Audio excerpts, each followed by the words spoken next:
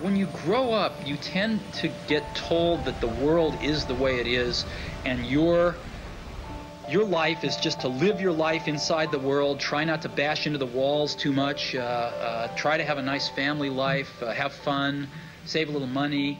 That's a very limited life. Life can be much broader once you discover one simple fact, and that is everything around you that you call life was made up by people that were no smarter than you and you can change it. You can influence it. You can you can build your own things that other people can use.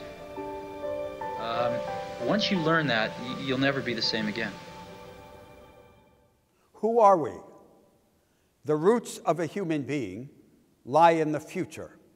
Living for the future is a way of living in the present as a being not totally determined by the circumstances of his existence there is always more in us, in each of us individually, as well as in all of us collectively, than there is or ever can be in the social and conceptual worlds that we build and inhabit.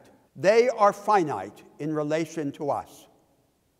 We are infinite with respect to them. The truth about who we are is manifest in the two sided nature of the mind. In some ways, the mind is like a machine. It is made up of modular components working according to formulas. In other ways, however, the mind is an anti machine. It is neither modular nor formulaic. It can combine everything with everything else, its power of recursive infinity. And it can extend its reach by defying the methods and assumptions on which it habitually relies, its power of negative capability. This second side of the mind is what we call the imagination. Nothing in the physical constitution of the brain, not even its plasticity of function, determines the relative influence of the machine and of the anti machine the organization of society and of culture, and the course of life give greater or lesser space to the imagination. The history of politics is internal to the history of the mind. Life is the supreme good.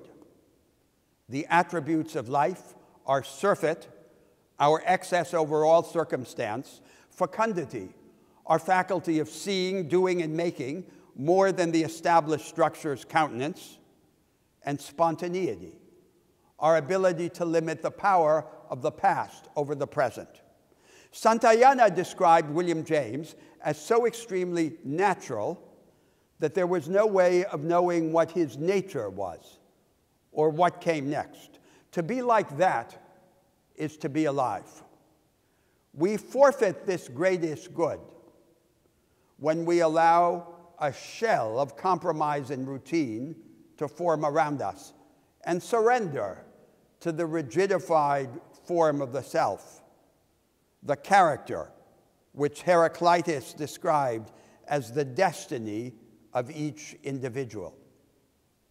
Together, the shell and the character form a mummy within which we die many small deaths. It is in our interest to break the mummy up. We can break it up only by unprotecting ourselves.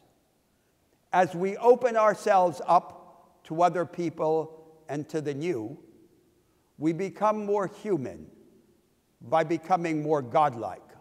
We become more godlike the better to live not later, but right now.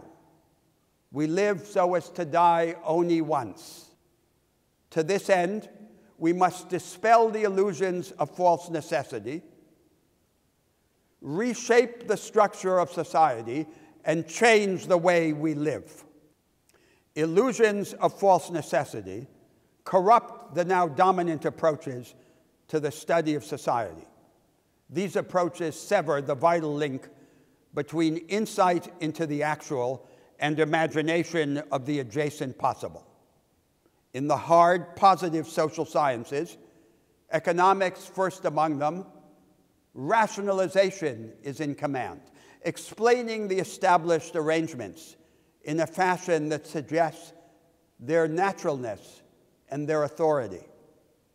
In the normative disciplines of political philosophy and legal theory, what prevails is humanization, the pseudo philosophical grounding of practices such as compensatory redistribution, designed to humanize a reality that we feel powerless to remake. In the humanities, free rein is given to escapism, the adventures of a subjectivity, unable and unwilling to reckon with the established regime of society. The votaries of these rationalizing, humanizing, and escapist tendencies pretend to be enemies. In fact, they act as allies to disarm the imagination and the will. Progressives used to believe mistakenly in blueprints. Now, for the most part, they lack any program. They see neither the direction nor the next steps. Their goal should be to struggle for a way of organizing society and culture that lays itself open to challenge and change, overthrows the rule of the dead over the living, diminishes the dependence of change upon crisis, and as a result, weakens the hold of hierarchies of class and role upon our dealings with one another. Under such a structure revising structure, we can have a better chance to be both great and sweet. We can engage without surrendering and connect without losing ourselves. We cannot await the reformation of the social order. Each of us must foreshadow it in the path of his existence.